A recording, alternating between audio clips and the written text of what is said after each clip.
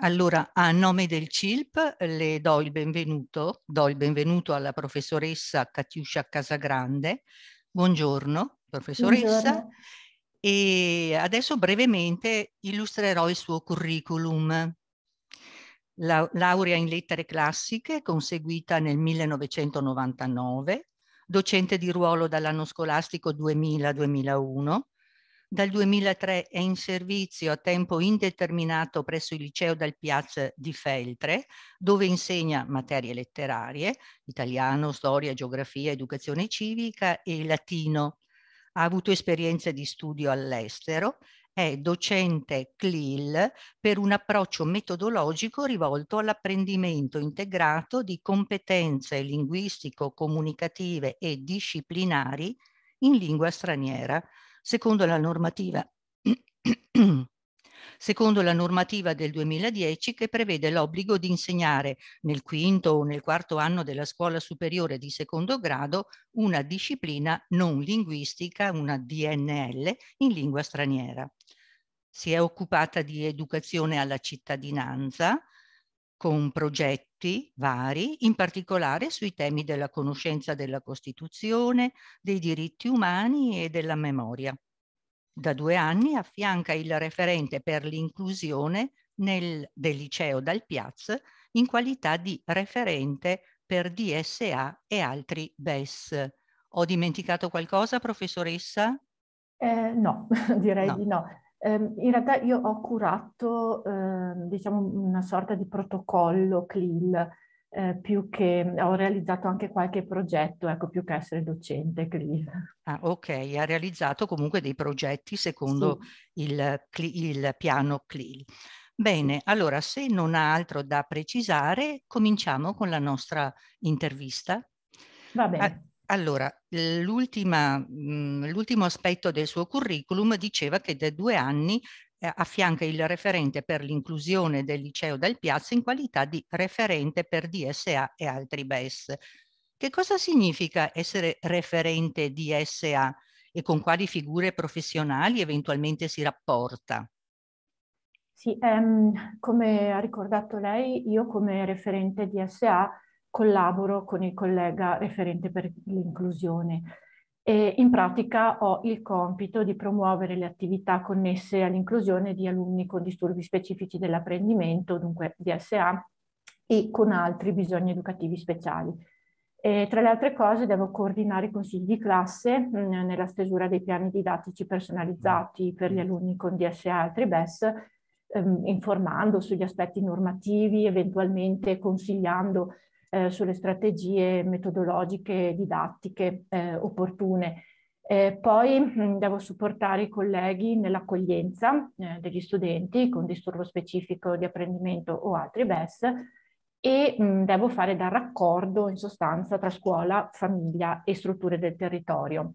Eh, in pratica mh, mm, promuovo un dialogo tra le componenti ehm, dell'istituzione educativa, quindi i docenti, i genitori, il dirigente, il personale amministrativo, curo il rapporto con le realtà territoriali e locali, per esempio CTI, mm. l'ufficio scolastico, la sezione AI di Belluno e i servizi sanitari. Ok, ha già buttato vari semi che dopo svilupperemo nel corso della nostra, della nostra intervista. Allora, eh, adesso le chiederei, può presentare brevemente il liceo dal Piaz dove lavora, soffermandosi sul piano per l'inclusività in particolare, che fa parte integrante del POF, piano dell'offerta formativa triennale, e che è stato da poco aggiornato, mi pare, in gennaio. E prima di darle la parola, mi piace eh, ricordare la citazione con cui si apre il vostro, il vostro piano per l'inclusività, che eh, è un principio, che esprime un principio a cui si ispira poi l'attività didattica della vostra scuola. È una frase di Martin Luther King e mi piace leggerla. Potremmo essere arrivati da navi diverse, ma ora siamo nella stessa barca. Ecco, detto questo, le cedo la parola. Eh, sì, mh, mm, allora, eh, liceo statale dal Piazza oggi mh, mm, conta quattro indirizzi, eh, lo scientifico tradizionale, lo scientifico applicato, ospitati nella sede centrale di Via Colombo, e poi il classico e linguistico ospitati invece nella sede di Via Tofana. Eh, l'indirizzo linguistico propone due diversi percorsi in lingua straniera, uno con francese e tedesco, l'altro con cinese e spagnolo. Mm. Eh, attualmente eh, gli alunni sono 625, distribuiti su circa 30 classi, sono 31, ehm, e i ragazzi provengono principalmente da Feltrino, Primiero, sinistra e destra Piave fino all'incirca, diciamo, Santa Giustina, Borgo Valbelluna. Dunque il bacino d'utenza è piuttosto, piuttosto ampio. E, ehm, per l'appunto, ecco, il motto che abbiamo scelto, che figura nel piano dell'inclusività, è quella, quella frase di Martin Luther King, potremmo essere arrivati da navi diverse, ma ora siamo sulla stessa barca, perché eh, al di là del conseguimento dei risultati, che pure insomma è importante, l'obiettivo del liceo è comunque eh, creare un senso di comunità. E, ehm, Ecco, non mi soffermerei a lungo eh, sul, eh, sul, piano per l'inclusività perché immagino avremo modo poi di declinarne eh, gli aspetti nel corso della conversazione, però mi preme ricordare che ehm, creare un senso di comunità vuol dire prima di tutto dare valore a tutti, certo. Eh, quindi gli alunni, le famiglie, i docenti naturalmente. Mm e eh, in secondo luogo eh, promuovere la partecipazione, perché in fondo fare inclusione Um, significa questo, no? creare le condizioni perché ognuno cresca e contribuisca alla vita della scuola secondo le proprie possibilità. Quindi ecco, mh, mm, ricorderei questo sopra, sopra a tutto piuttosto che magari scendere in dettagli. Ok, molto molto interessante. Volevo solo aggiungere 625 studenti, ha detto, no? E mi pare, se non ho letto male, che meno del 4%, un 3,85 eh, mi pare per cento degli studenti ha dei problemi, dei disturbi a livello eh, di spettro autistico, disabilità certificate BES e DSA. Comunque di questo parleremo dopo. Allora, nel piano per l'inclusività si parla, e anche lei prima ha citato, studenti con BES. Allora, ce ne sono nella sua scuola. Chi sono?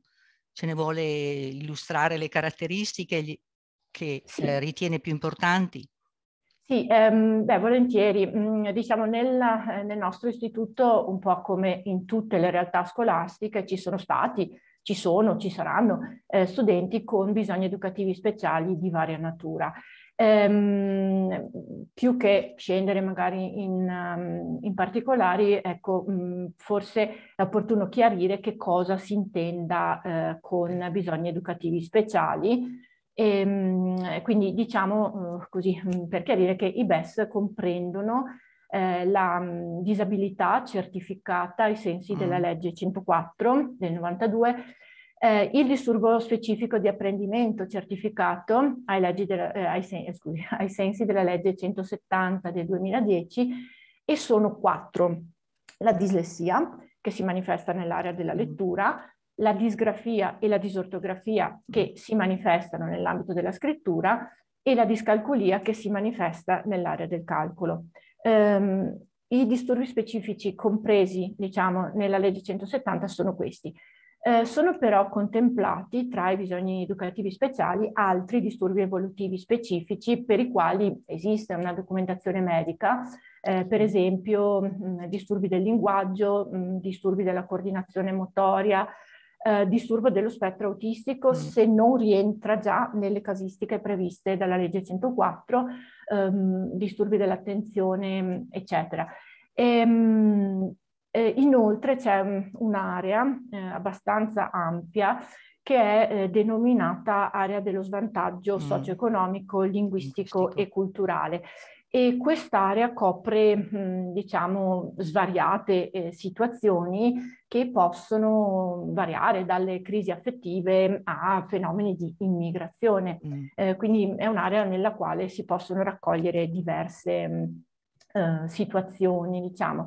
Eh, per questi studenti eh, mh, si deve, direi, o si può eh, prevedere mh, un percorso mh, che tenga conto eh, delle loro specificità, delle loro caratteristiche particolari. Certo, ed è proprio da qua che partiamo con la prossima domanda, quindi anche voi come docenti del liceo dal Piaz stendete i famosi PDP, cioè i piani didattici personalizzati. Ce ne vuole parlare? Allora, ehm, per gli alunni con disturbo specifico di apprendimento è previsto ehm, un piano didattico personalizzato eh, compilato dal consiglio di classe in raccordo con la famiglia. Eh, per gli studenti con una disabilità si compila annualmente quello che viene chiamato il PEI, il piano sì. educativo individualizzato, eh, in un raccordo tra scuola, ASL, enti locali, per esempio servizi sociali. Eh, mentre per gli altri BES si compila un piano didattico personalizzato quando il consiglio di classe ritiene ci siano le condizioni previste per gli studenti con svantaggio socio-economico, linguistico e culturale. Um, il PDP va poi mh, sottoposto a monitoraggio continuo perché sì. di fatto è uno strumento di inclusione mm. e la logica dell'inclusione implica un'evoluzione continua. Ehm, in sostanza, mh, il PDP rappresenta l'alleanza, diciamo così, tra il ragazzo, eh, la famiglia, gli insegnanti, gli specialisti. Ehm, la coordinazione, eh, la collaborazione sono indispensabili per creare benessere e dunque creare anche successo no, dello studente. E il quale studente non è solo oggetto ovviamente di queste attenzioni, ma è anche protagonista e responsabile del suo benessere e del suo successo. Perciò, mh, diciamo, anche se la sua firma non ha valore legale se lo studente è minorenne, eh, noi chiediamo che anche lo studente firmi il suo PDP insieme agli altri attori che sono appunto i docenti, la famiglia e il dirigente, proprio per una ehm, assunzione di, di responsabilità. Sì, mi piace molto il fatto che facciate firmare il PDP anche allo studente, beh, si tratta di un liceo, quindi sono ragazzi grandicelli, non tutti sono maggiorenni, perché al centro di ogni azione educativa non ci deve essere né l'insegnante né eh, altri, altre figure scolastiche, ma proprio lo studente. È quella rivoluzione copernicana che a un certo punto è avvenuta per fortuna nell'ambito della scuola. Perfetto, benissimo. Potrebbe illustrarci adesso un PDP soffermandosi per esempio sulle misure compensative e dispensative, sugli strumenti usati per esempio da, un, da uno studente con dislessia. Sì, um, allora come abbiamo detto uh, il PDP viene compilato dal consiglio di classe, quindi il consiglio di classe individua i bisogni dell'alunno e le modalità per far fronte a questi bisogni. Uh, intendiamoci, tutti gli alunni hanno potenzialità, difficoltà di cui la scuola tiene conto e a cui la scuola deve rispondere. Uh, nel caso di studenti con un disturbo specifico di apprendimento, per esempio la dislessia, la scuola formalizza uh, interventi individualizzati, personalizzati, insomma, adottando anche queste misure dispensative e compensative. Eh, chiarisco mm, prima sì. alcuni aspetti. Eh, il PDP per uno studente con eh, DSA è redatto dai docenti in collaborazione con la famiglia e la famiglia è sempre una fonte preziosa di mm. informazioni. Eh, si fonda però, a differenza mh, mm, per esempio di PDP per altri BES, eh, si fonda sempre necessariamente su una diagnosi specialistica. E infatti subito dopo l'anagrafica dell'alunno c'è una voce elementi diagnostici che mm. recepisce il cosiddetto eh, profilo di funzionamento e qui viene riportata la descrizione delle abilità di lettura, di scrittura, di comprensione del testo, calcolo e così via. Eh, poi eh, si trova mh, brevemente la descrizione delle caratteristiche dell'alunno, del suo comportamento, eh, per esempio l'autostima, gli atteggiamenti mm. nella relazione, eh, l'accettazione rispetto delle regole, la motivazione, eh, la consapevolezza anche del proprio modo di apprendere, delle proprie difficoltà. E mh, mm, poi c'è una voce che riguarda i punti di forza del ragazzo, gli aspetti da valorizzare, chiaramente sono quelli poi su cui fare leva no, per veicolare il successo formativo, e quindi si passa a individuare le misure compensative e dispensative che fondamentalmente servono ad aggirare il disturbo, no? eh, ponendo ehm, lo studente con disturbo specifico di apprendimento sulla stessa linea degli altri, cioè eh, nello stesso modo in cui io, eh, volendo leggere quotidiano dopo pranzo, indosso gli occhiali e un'altra persona no, eh, così le misure compensative e dispensative ehm, veicolano la prestazione senza però nulla togliere eh, al processo cognitivo. E quindi nel caso della lettura uno studente con dislessia avrà difficoltà di decodifica, quindi mm. difficoltà a leggere in modo fluente, in modo accurato e di conseguenza rispetto a questo potrebbe avere difficoltà di comprensione del testo, sì, dunque faticare a costruire un vocabolario, delle conoscenze articolate, eccetera. Eh, il PDP dunque ehm, eh, prevede, prevederà eh, delle misure legate alla decodifica del testo che abbiamo detto nello studente con dislessia non è un automatismo. E, ad esempio, eh, come misure compensative saranno previste eh, l'uso della sintesi vocale, mm. eh, l'uso di mappe concettuali, l'uso di riassunti, l'uso di tabelle e mh, mm, eh, per eh, realizzare queste misure compensative saranno previsti strumenti compensativi, quindi PDP indicherà come strumenti compensativi, eh, so, i software didattici, i dizionari, i libri digitali, gli audiolibri, le videopresentazioni, eh, così via. Um, come mm, misure dispensative si potranno considerare, mm, se necessario ovviamente, l'esonero per esempio da lettura ad alta voce mm. perché magari un ragazzo uh, che fatica uh, nella decodifica um, potrà sentirsi in imbarazzo um, e questo ovviamente gli precluderà poi una, un accesso sereno a, al testo e a una fruizione anche piacevole insomma del testo eh, si potrà prevedere anche, mh, mm, questo accade ehm, anche di frequente, magari una, una dispensa dal rispetto eh, dei tempi standard durante le prove. Mm.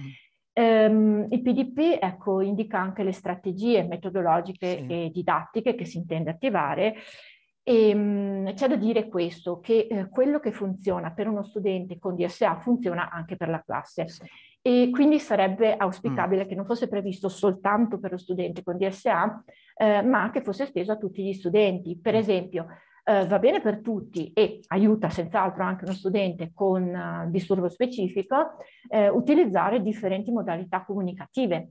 Eh, attivare diversi canali sensoriali nel momento delle mm. spiegazioni, quindi la spiegazione verbale può essere accompagnata, mh, ormai si fa comunemente, no? Dalla, dall'immagine, dal video, Ehm, poi ecco, può essere interessante comunque promuovere la conoscenza, l'utilizzo di questi mediatori didattici, quindi abbiamo detto le immagini, gli schemi, le mappe, e mh, alla fonte di tutto direi eh, c'è bisogno mh, per tutti gli studenti di promuovere consapevolezza del proprio modo di apprendere, eh, la capacità di autovalutazione. Mm ehm, perché mi perdoni l'espressione, ma senza questo mh, non si fa niente. È vero.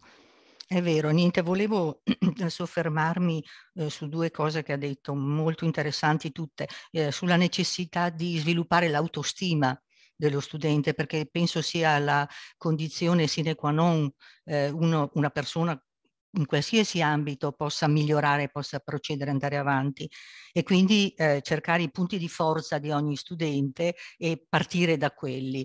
Un altro aspetto che mi preme, eh, che mi preme mh, sottolineare eh, di tutto quello che lei ha detto è questo, cioè il fatto che gli interventi compensativi che si predispongono per questi studenti che hanno delle difficoltà in qualche modo, magari nell'apprendimento della lettura o della scrittura, eccetera, arricchiscono poi tutta la classe. Quindi è vero, sono pienamente d'accordo con lei, non dovrebbero essere limitati solo agli studenti con disturbi perché questo potrebbe aiutare anche tutti gli altri mi pare. E volevo aggiungere un'ultima cosa, lei parlava tra, tra l'altro di sintesi vocale. Ecco, ehm, noi eh, come Centro Internazionale del Libro eh, lo sa bene che eh, produciamo, tra virgolette, degli audiolibri, cioè sono dei donatori di voce volontari eh, che leggono, registrano dei libri e nell'analisi, in un'analisi dettagliata che è stata fatta proprio a, a, conclusione dell'anno 2001, eh, sì 2021 scusi, degli utenti iscritti che sono 2000, ben il 36% sono dislessici. Quindi eh, vuol dire che questi ragazzi che mandano i loro testi scolastici, parlo solo di testi scolastici per ora, mandano i, i loro testi scolastici al CILP, eh, hanno giovamento eh, dalla lettura eh, dalla voce umana, perché eh, pur essendo un testo scolastico per cui la, il donatore di voce ha un atteggiamento un po' asettico, diciamo, non può interpretare un testo scolastico, però la voce umana è certamente più calda, emotivamente più coinvolgente che non la sintesi vocale. Questo, ma adesso passiamo, eh, andiamo oltre. La ringrazio per tutto quello che ci ha detto, molto interessante. Allora, quando arrivano, siccome si tratta di liceo, quando arrivano alla scuola superiore, superiore, gli studenti sono già a conoscenza di misure compensative, li utilizzavano già prima, hanno acquisito delle strategie magari personali per ovviare a certe difficoltà o a certe particolarità del loro apprendimento? Ma, mh, normalmente sì, perché eh, per l'appunto i ragazzi che approdano alla scuola superiore hanno l'esperienza di tre anni di scuola mm. media, di cinque di scuola primaria Diciamo che se la diagnosi non è recente, in genere i ragazzi hanno già sperimentato e hanno quindi utilizzato strumenti compensativi ehm, ehm, che siano i software vocali, mm, gli schemi, le mappe concettuali, l'uso del PC per mm. esempio per le attività di scrittura, eh, in genere sanno anche suggerire eh, quali hanno funzionato in precedenza, quali no. Eh, per esempio uno studente con dislessia può trarre vantaggio dall'uso del PC nella stesura di un compito scritto, mentre un altro no. Ehm, questo mi porta anche a, a, dire che nessuno studente con disturbo specifico di apprendimento è uguale a un altro. Certo. Questo eh, non dipende soltanto dal tipo, dalla severità del disturbo, dipende dal fatto che nessun ragazzo è uguale a un altro. E, ehm, quindi eh, in genere mm, ecco, il confronto con la famiglia, soprattutto all'inizio del primo anno, è prezioso proprio per questo, no? perché si ricevono indicazioni utili sulle strategie già messe in atto e poi da qui si parte per adattare queste strategie, per individuarne di altre utili ad affrontare il lavoro richiesto dalla scuola superiore e in questo ecco, aiutano senz'altro anche mm, i libri di testo Molto interessante anche questo. Allora, visto che lei ha citato i libri di testo, passiamo proprio a esaminare un attimo quelli adottati eh, dalla scuola, dalla vostra scuola, favoriscono l'inclusione e mi riferisco soprattutto ai libri di testo che lei utilizza, vale a dire italiano, storia, geografia, eccetera, eccetera. Ecco, come, che cosa danno questi libri di testo che possano essere di aiuto all'inclusione uh, di ragazzi con un metodo approccio particolare alla lettura, per esempio? Eh, sì, eh, beh, ormai eh, tutti i libri di testo in realtà propongono spunti per la didattica inclusiva mm. eh, che mh, mm, ecco, cerca di valorizzare, no, di promuovere diversi stili di apprendimento. Quindi ehm, nei libri di testo si trovano, direi comunemente, eh, un linguaggio accattivante, eh, il colore, mh, mm, colore, molto colore per evidenziare concetti chiave eh, o per esempio nella declinazione latina le desinenze. Eh, ecco che questo va bene no, per uno studente con disturbo specifico, ma va benissimo eh, ovviamente per tutta la classe. Eh, poi si può usare il colore nella pagina per mm. differenziare i contenuti, eh, gli approfondimenti rispetto al testo principale, mi viene in mente adesso, ehm, il colore nelle mappe per gerarchizzare l'informazione. E anche questo è molto utile a uno studente con un disturbo, ma in generale tutti. a tutti coloro che privilegiano mm. il canale visivo non verbale. Mm. E, ehm, poi ecco, sui libri di testo si trovano schemi, eh, si trovano già mh, predisposte delle mappe per lo studio, a volte complete, a volte da completare, quindi mh, così per finalizzare un po' anche la, lo studio domestico. Eh, spesso vengono proposte carte dei saperi fondamentali. Mm.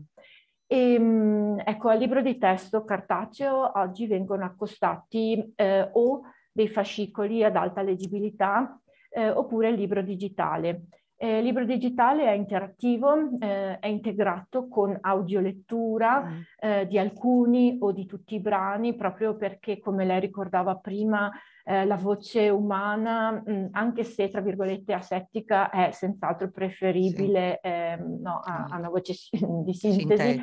Mm. Eh, certo, poi mh, mm, ci sono dei video, mh, ci sono risorse multimediali, a volte è disponibile non nei nostri, ma a volte è disponibile anche una traduzione simultanea multilingue, eh, quindi sono, sono piuttosto ricchi. Eh, spesso mh, la, l'accessibilità viene migliorata dalla cosiddetta modalità liquida eh, del libro digitale, quindi la visualizzazione della pagina può essere mh, adattata allo strumento che si sta utilizzando e poi si possono modificare gli sfondi, l'interlinea può essere modificato, il tipo di carattere può essere modificato, la dimensione può essere modificata e mh, ecco ehm, strumenti come mh, eh, la, l'audiolettura o mh, l'audiolibro eh, in, in toto insomma vengono Mm, mm, certo. scusi se mi ripeto un po', ma eh, vengono incontro eh, alle esigenze di uno studente con un bisogno educativo mm, speciale, con un disturbo specifico, certo, però eh, risultano davvero efficaci in generale perché sono più coinvolgenti, sono ehm, anche meno ansiogeni. Eh, no? L'ascolto di un brano, di un romanzo, ehm, è, dalla voce di qualcuno è più mh, eh, affascinante. Certo. Ehm, più rilassante, se vogliamo, che la lettura magari in cartaceo sugli reader. Mm. Eh, c'è anche il vantaggio di non affaticare la vista, certo, no? già in certo. questo periodo messa a dura prova dal, dall'altro. Sì. Dall'altro, sì. Lei ha citato il, un romanzo, eccetera, quindi al di là dello studio dei manuali che mi pare siano molto arricchiti rispetto al passato proprio per venire incontro diffic- a chi ha delle difficoltà, ma penso che poi vadano bene a tutti, no? Perché stimolano l'attività di tutti. Allora, al di là dello studio dei manuali, in che modo viene stimolato nei ragazzi il piacere della lettura? Perché soprattutto in un liceo, ma comunque il piacere della lettura è fondamentale anche in un'ottica inclusiva?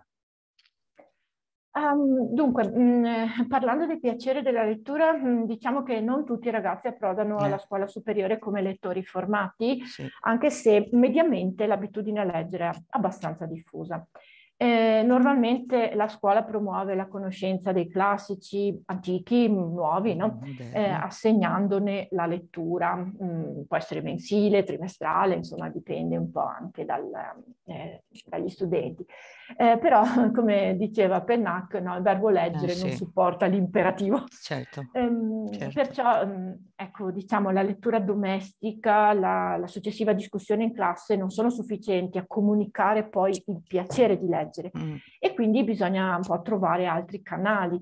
Uh, diciamo che ecco, per i testi di studio come Promessi Sposi mh, mm, spesso adottiamo il sistema della lettura più voci perché è un pochino più, più vivace, più coinvolgente, um, insegna anche all'insegnante no? se lo studente mm. sta comprendendo quello che legge oppure certo. se è richiesto un po' di mh, mm, eh, spiegazione in più. Ehm, inoltre, mh, ecco, si può mh, ehm, prevedere mh, l'ascolto, l'ascolto di testi letti da bravi attori, ormai in commercio si trova molto, si trova molto anche in rete, per esempio ehm, su Radio Rai eh, ad alta voce. Rai 3, sì. Sì, eh, poi mh, mm, si, può, mh, mm, ecco, si può prevedere anche la lettura a voce alta, perché no, da parte dell'insegnante, eh, magari disinteressata, mh, mm, mi diceva eh, più di un collega, eh, una lettura non legata strettamente ad un'attività didattica, ma come una sorta di regalo ehm, alla classe.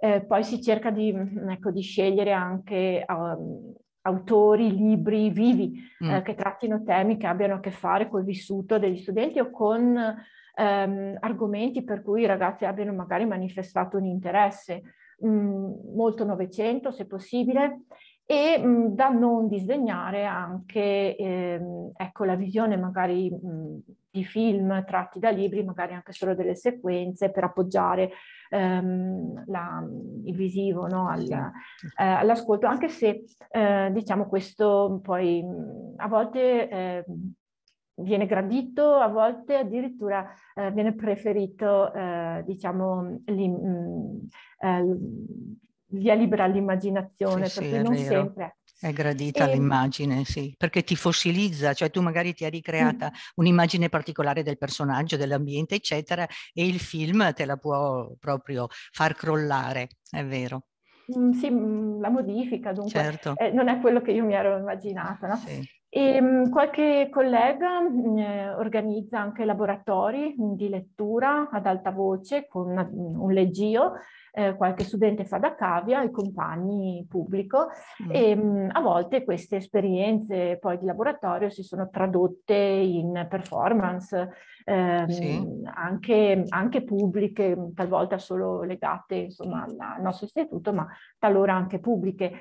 Ehm, ecco, noi cerchiamo come, come, scuola anche di promuovere la lettura dei quotidiani, dei mm. giornali mm. in generale, eh, perché mh, eh, insomma, la, naturalmente la conoscenza, la comprensione della, del presente è fondamentale e mh, per questo ci appoggiamo mh, alla lettura del quotidiano in classe cerchiamo appunto di sollecitare poi la lettura domestica ehm, di, di, quotidiani o di riviste comunque ehm, anche online, possibilmente di diverso orientamento, possibilmente anche eh, magari per il liceo linguistico, ma non solo, eh, di, diversi, di, diversi, paesi, mm. sì, certo.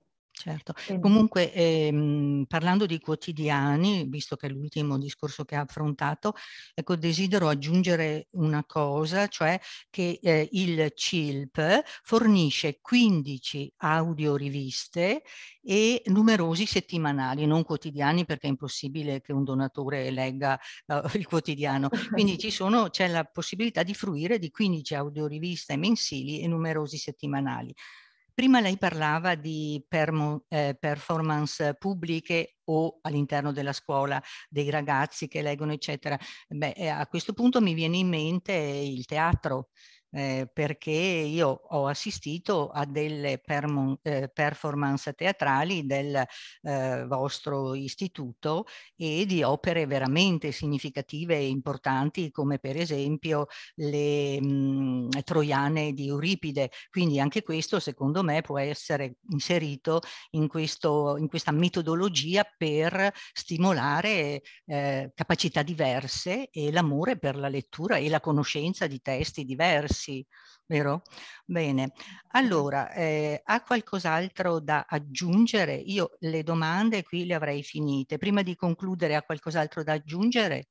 Ma non, non, mi viene in mente niente, no, nel senso ci sarebbe tantissimo da sì, aggiungere. Eh. Lo so, lo so, il tempo è... Credo che il nostro tempo sì, sì, sì no, non, anche perché diciamo non, ci sono sicuramente relatori molto mm. eh, qualificati, quindi non vorrei portare mm, via. No. Spero di essere stata non esaustiva, ma quantomeno esauriente. sì, esauriente e molto chiara, molto chiara e anche molto coinvolgente. Allora, se lei non ha niente da aggiungere, voglio concludere io il nostro incontro eh, dicendo che eh, durante questa conversazione eh, noi abbiamo certamente proposto un esempio virtuoso di didattica un, eh, inclusiva che mira a eliminare gli ostacoli all'apprendimento e eh, diciamo, favorire la partecipazione degli studenti, di tutti gli studenti, in particolare con DSA e BES. Una didattica che fa della diversità un'occasione di crescita per tutti all'interno della classe, all'interno della scuola. Una scuola che, come lei ha ben fatto capire e come si evince anche dal piano per l'inclusività, una scuola, la vostra, che vuole e diventa comunità e che non si limita a conseguire risultati risultati formativi che pure sono importanti, lo ha detto anche lei eh, e mm, ci tengo a sottolinearlo, eh, però eh, che non si limita solo a quelli, come poteva succedere anni addietro in cui soprattutto un liceo, parlando di un liceo, poi si guardavano solo i risultati formativi. Diciamo è una, um, un altro aspetto che eh, ho colto sia del piano dell'inclusività che da quanto lei ha detto detto eh, il fatto che eh, la vostra scuola cerca di trasformare le difficoltà in opportunità, in opportunità non solo per gli studenti eh, con eh, particolari eh, difficoltà di lettura, di apprendimento, eccetera, ma per tutta la comunità classe e quindi per tutta la comunità scuola. Ecco. Esatto, sì, eh. esatto. Diciamo che um, qualsiasi difficoltà rappresenta una sfida, no? eh, sia per l'alunno per sia per la famiglia, anche per, anche per, i docenti e qualsiasi esperienza dentro la scuola è un'esperienza che eh, contribuisce alla crescita di tutti, docenti compresi. Compresi, cui, è vero eh, potremmo veramente concludere eh, con uh, la frase con cui abbiamo iniziato, no? eh, saremmo anche arrivati da navi diverse, però ora ci troviamo sulla stessa barca. Martin Luther King, perfetto. Allora io la ringrazio veramente, eh, professoressa Casagrande, è stato un piacere sentirla e auguro buon lavoro al suo dirigente scolastico, a lei e a tutti i docenti del suo istituto e della scuola in generale. Grazie, grazie a lei.